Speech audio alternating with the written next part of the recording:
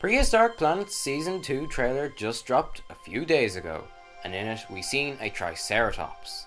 But no one seems to be talking about its asymmetry in the horns. Asymmetry? In my lab? Are me and Dr. Wu the only perfectionists here or something?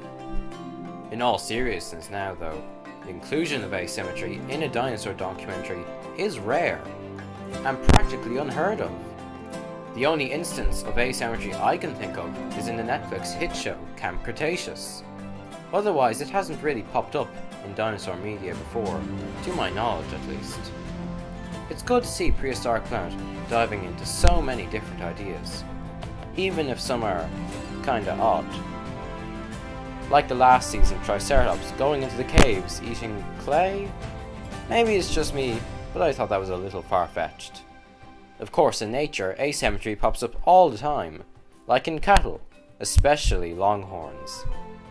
If you'd like to see a full reaction to the first trailer and breakdown of it, you can go watch it on my channel, using the link in the top of the corner of the screen now. And while you're at it, subscribe for more content for Prehistoric Planet and Jurassic World.